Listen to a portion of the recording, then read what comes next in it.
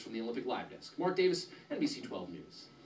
Thanks, Mark. A Richmond neighborhood dealing with some messed up front yards tonight. And those homeowners claim the city of Richmond is to blame. Take a look at this video from the Stratford Hills subdivision today.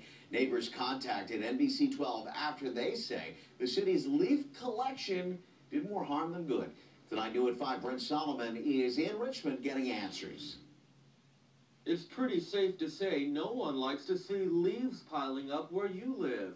That's why word of crews coming to haul it all away can bring relief. That is, unless crews leave an even bigger mess behind. Due to bad weather lately, many Richmond neighbors waited months to see their leaves collected. So when Marcus Pendleton heard pickup crews Wednesday morning, I got excited.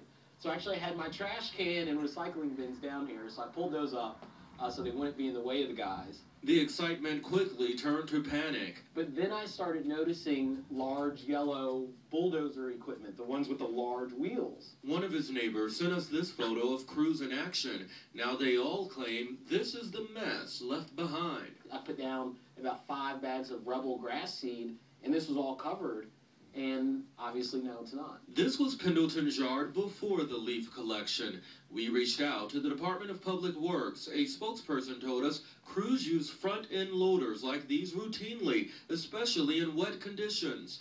Pendleton says he could have used a warning. It was going to be nice grass, and now it is not.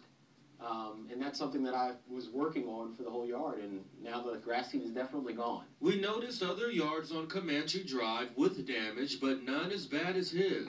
I just, I just would really honestly like uh, the damage fix. That's all. When we brought this issue to the city's attention today, a spokesperson told us if the city is responsible, it will certainly take action, which could include replanting the grass. If you have an issue that you feel needs to be investigated by the city, just call 311 in Richmond. I'm Brent Solomon for NBC 12. Thanks, Brent.